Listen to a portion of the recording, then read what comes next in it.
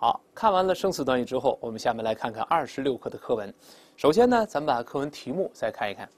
Lesson twenty six wanted a large biscuit tin。这个 wanted 是什么意思？首先我们知道这个 wanted 在这儿是诚聘或者是求购的意思。这个一般在广告里面用的特别多。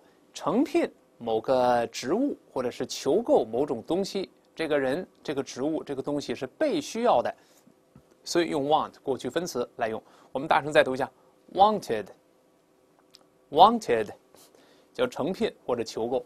在本文中呢，就是征购、求购。我们想要一个特别大号的饼干桶，为什么？现在这饼干个儿太大了，一般都装不下。那，那表示诚聘呢，正在到这个这个报纸的招聘广告里面用的也特别多。咱们有一个小的短语叫 have wanted section，就是报纸上的招聘启事专栏。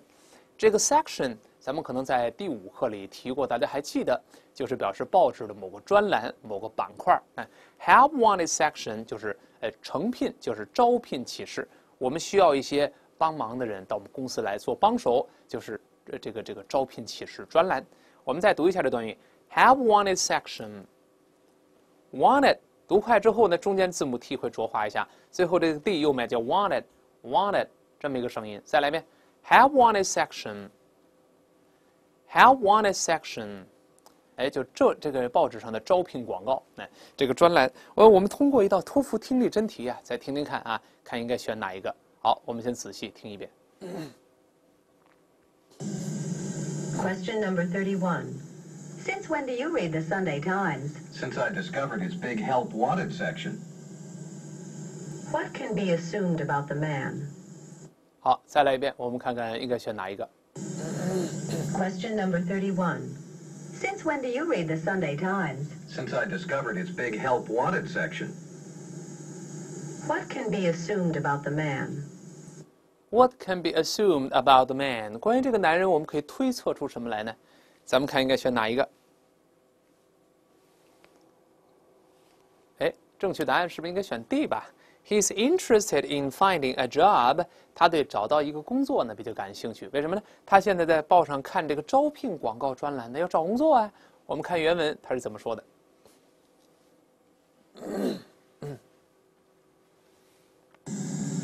Question number thirty-one. Since when do you read the Sunday Times? Since I discovered its big help wanted section. What can be assumed about the man?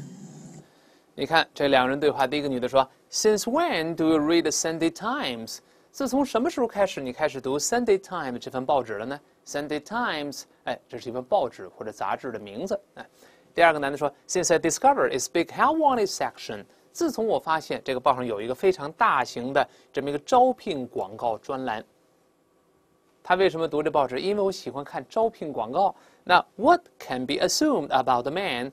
关于这个男人，我们能够推测出什么来呢？推测出他要找工作呗，对吧？选 D，He's interested in finding a job。他对找工作比较感兴趣。这是 wanted，有这个意思，诚聘或者求购。注意，在广告里面见的特别多。那么同样的，呃，除了在广告中诚聘求购之外呢，wanted 还有另外一个含义，就是表示通缉某人。这个逃犯是遭到通缉的，哎，也用它。这个注意不要搞混了啊。咱们看一个呃，这这么一个路边的一个启示，你看，就是在路边有一个上面有个字叫 “wanted”，这个是被通缉的，dead or alive，死活都行。那后面说呢，reward，大家还记得吗？我们在 reward 在第十五课，我们这个五十遍式的麻烦就讲过，reward 表示酬金、酬劳金，做这个动词就是酬劳、酬谢的意思。那酬金五万美元，就是 wanted 通缉的意思。咱们再看一个句子。The fugitive is wanted by the police. Fugitive 是逃犯了，这个逃犯竟正在受到警方的通缉。Be wanted by 被某个机构在通缉就好了。哎，好，我们再把这逃犯这词跟老师读一遍。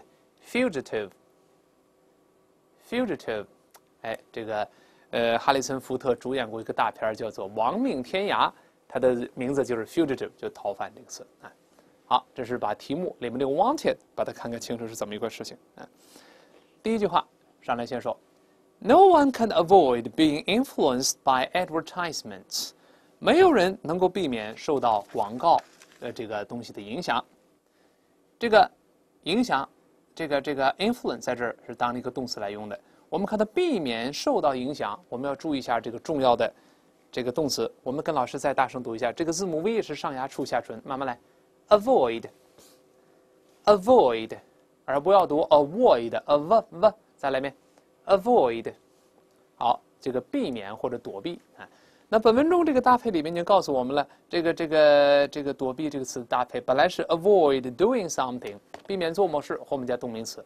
其实呢，本来后面一般是加名词做宾语的，比如 avoid somebody like the plague，躲某人像躲瘟疫一样，也是躲避逃避啊。这个 plague 这个词表示可怕的疾病，什么鼠疫啊这种瘟疫啊。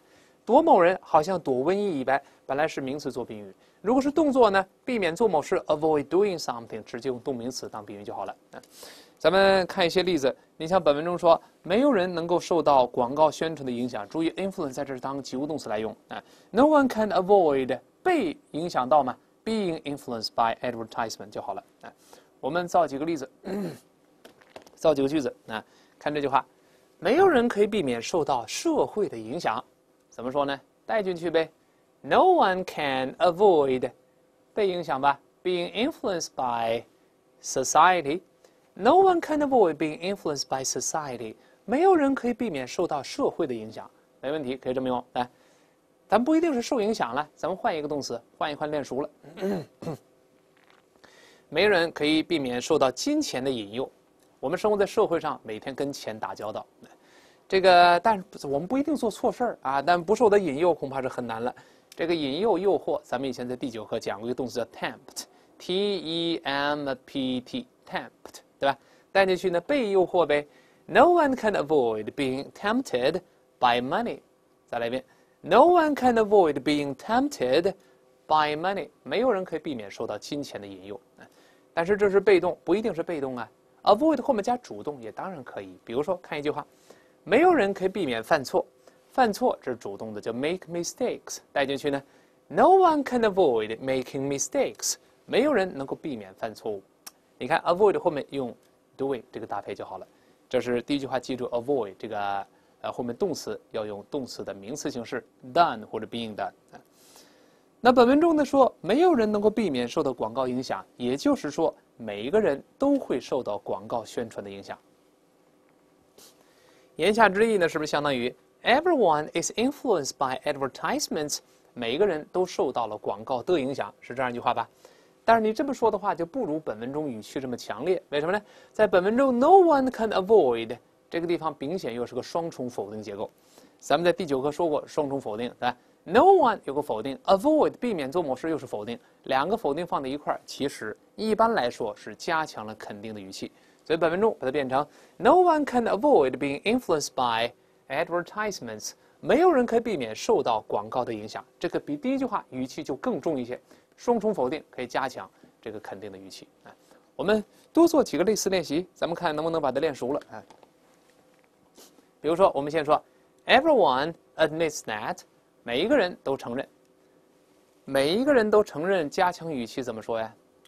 就是没有人能够否认呗。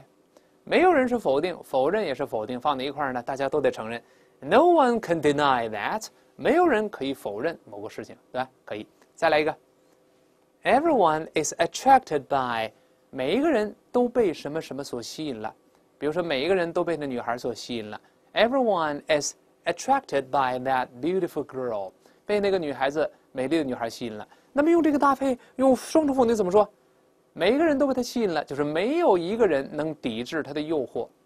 那抵制诱惑不受吸引，动词可以用 resist，是不可以说 No one can resist something, no one can resist her。没有一个人能抵制他的这个诱惑，他的魅力。No one can resist 就被第一个 everyone is attracted by 这个语气要重一些。这是我们又次复习的重要知识，就是双重否定来加强肯定句的语气。本文中就说了广告的力量。无这个非常强大，广告的触角无所不在，没有一个人能逃脱广告它的影响。那么第二句就说了，为什么呢？他说，Much as we may pride our taste, our good, uh, pride ourselves on our good taste, we are no longer free to choose the things we want. For advertising exerts subtle influence on us. 就等于把第一句话展开来解释一遍。这句话咱们先看看语法成分的分析。这个整个句子摆在这儿，我们看到这个第一个逗号之前的这个黄颜色的成分，明显是一个让步状语从句。尽管我们对我们自己的良好的判断力觉得非常的骄傲自豪，那我们是很有判断力的，我们知道哪个好哪个不好。这个 much as 放在这儿是一个咱们在让步状语从句中常见的一种强调式的结构。这个具体结构的讲解，咱们一会儿会展开来说明。哎，在这先记住，它是个让步状语从句。然后后面两个逗号之间的白颜色的是句子的主句、主干结构，对吧？No longer 是不再了，我们不再能够 be free to do 自由的，自由的选择我们自己想要的东西了。The things we want，其实严格来说，这个 we want 也是一个小小的定语从句，来修饰前面那个 things。We want 相当于 which we want，特别短，但它其实也是个定语了，修饰前面那个这个 things。然后呢，在逗号之后的 for 一直到句末，这个画横线的这个黄色的成分，这个斜体字。明显是一个呃原因状语从句，因为广告宣传对我们施加了微妙的影响。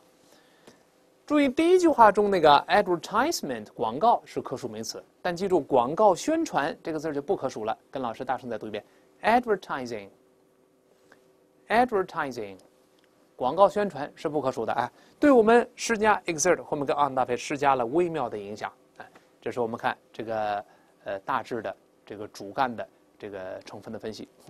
这句话里细节特别多。首先，第一个，我们先看一看 “pride ourselves on” 这个动词短语的复习。“pride oneself on” 表示对某个东西很自豪。这个有后面的加反身代词。如果是 “you”，呃，should pride yourself on your work，你应该对你的工作感到很自豪。那后面跟 “yourself”，本文中是我们呢，就把后面那个呃 “oneself” 换成 “ourselves” 就好了。相应的反身代词做个变化。可以用它的形容词形式，呃，动呃，它的名词形式 take pride in，把 pride 由动词变成名词，还有刚才词库中讲过的形容词形式 be proud of，这个都可以，都是对什么骄傲。只不过这个 be proud of 这个词呢，相对比较通俗一些，前面两个表达稍微正式一些罢了。本文中是对我们的良好的判断力，尽管我们感到很自豪。这个尽管怎么翻译出来的呢？就是句首这个 much as 这个结构，我们判断是让步状语从句中。只不过它是个强调句，看本文中相当于这么一个句型，相当于 Although we may much pride ourselves on our good taste，尽管我们对自己良好的判断力觉得很自豪。这个如果这么写的话，大家相信都认识了，对吧？但是我们这里它强调了让步状语从句中的某一个字，强调哪个字呢？在本文中并呃很明显强调这个副词 much，尽管我们对自己良好的判断力觉得非常的自豪，非常自豪。强调这个副词 must，怎么强调呢？在让步状语从句中有个简单的方法，就是把被强调的这个词放到从句的句首，而且一般这个从句句首就是整个句子句首了。为什么呢？因为句首是个关键性的位置。李老师以前说过，一个英语句子，一个是句首重要，一个是句尾重要，对吧？所以把它放在句首是突出这个词的重要性。然后放在句首之后呢，还不算完。这样一下连词就死了。原来在这儿连词在这儿，它到句首之后把连词取代了，连词没有了。然后呢，被强调的词后面还得加一个 s，就跟这个大明星来了之后还带一个秘书、带一个保镖一样，后边还加的 s。其他的词顺序把它排到后面就好了。你看，把 much 放在句首，后面加个 s，其他的顺序排好队，就就成了这么一个结构。much 放在句首，although 没了，后面加个 s，后面顺序抄下来。We may pride ourselves on a great taste。你看，这个结构非常好变。来，被强调词放在句首，后面加 s，其他词顺序排好队就好了。这是强调副词，非常的自豪。哎，是这么来用。咱们再换一句话来练一练。看这句话完整的句子啊。Although I much admire Newton as a scientist, I don't like him as a man。尽管，呃，牛顿作为一个科学家来说呢，我特别的钦佩他。维纳的大科学家，那但是呢，作为一个人来说，我可不太喜欢他。牛顿这个为人差一些，尽管科学上造诣很深啊。你看我这个从句中用的是 Although I much admire Newton as a scientist，尽管我作为呃作为科学家，我非常尊敬他。如果我强调这个 much，该怎么办呢？那么跟刚才变化一样，把 much 放在句首，后面加 as，其他词顺序排好队，该怎么说？Much as I admire Newton as a scientist。I don't like him as a man。你看到了吗？就是把 much 放在句首，although 没了，后面加个 as，其他的 I admire Newton as a scientist，抄到后面按顺序排好队就好了。注意这个地方强调的是让步状语从句中，呃，这个这个修饰谓语动词的这个副词。但是我们不一定修饰副词啊，我们也可以修饰其他的词性，比如修饰形容词。你像本文中，我们把本句中间变一变。本文中用的是 pride oneself on，我们说了可以用 be proud of。哎，我们试试看。那么如果用 be proud of，那么我们正呃这个这个正规的让步状语从句是不是可以这么说？Although we may be proud of a good taste，尽管我们对自己良好的判断力可能觉得自豪。这个自豪用的是 be proud of 这个结构。来，那我想强调一下形容词 proud，尽管我们很自豪，很自豪。中文中呢？就没法用这种特殊的强调句，因为中文中的句型相对英语来说可能单调一些。只能说，尽管我们很自豪，很自豪，声音大。为什么中国人爱听评书呢？这评书一声音呃声声音大，声音小，语速快慢能抓住重点。但英语中呢，没有评书这么一说，他们通过文字就可以表达。把这个 proud 形容词同样放在句首，因为你强调哪个词，把哪个词放在句首，后面一样是加一个 s，其他词顺序排好队就好了。咱们试试看，proud 放在句首，连词没了。后面加 s，后面再跟上 we may be of a good taste，你看变成这个结构，proud as we may be of our good taste，看到了吧？proud 放在句首，后面是 s，后面一二三四五六，哎，把它七把它排好队，排到后面去，这句子就成型了。这强调的是形容词。咱们再做个练习试试看啊。看这句话，Although she is beautiful, I still don't like her. 尽管这个女孩很漂亮，但是我还是不喜欢她。那么这个让步状语从句中只能强调 beautiful 了，我不可能强调 she 呀。尽管这是个女的孩儿，这个孩儿是女的，我不可能强调这个，我可能强调她漂亮。尽管她很漂亮，在中文中就不好说，我们还得听评书，为什么呢？还得重读啊。尽管她很漂亮，对，她很漂亮。那在英语中不用用喷口，哎，直接把这个 beautiful 放在句首，后面加一个 s，其他的。这个抄到后面该怎么说？Beautiful as she is, I still don't like her。那句子也更简洁了。Beautiful as she is, I still don't like her。也是让步状语从句。以后咱们在阅读真题中见到类似这种结构，我们知道它是让步状语从句就好了。但是这个强调的是副词和形容词。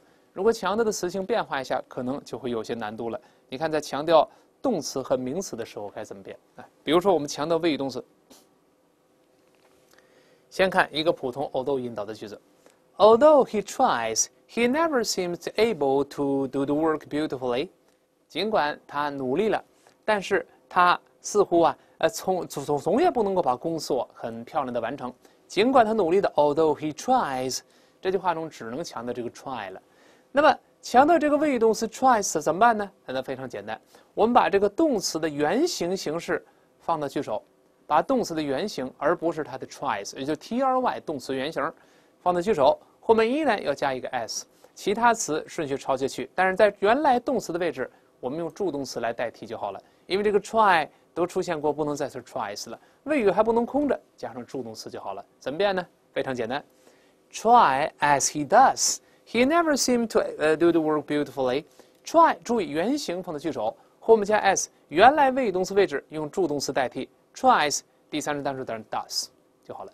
Try as he does, he never seemed to do the work beautifully 就好了。我们记这个语法点，还不如把这句子背下来。这个句子背下来之后，相信大家这个动词的强调也会用了啊。咱们再看强调名词，强调名词也略微有点麻烦。比如说看这句话，Although he's a child, he can make a living。尽管他是个孩子，但是他已经能谋生了。我们强调哪个词呢？强调这个孩子。我就尽管他还是个孩子啊，他还是个孩子，强调他怎么办呢？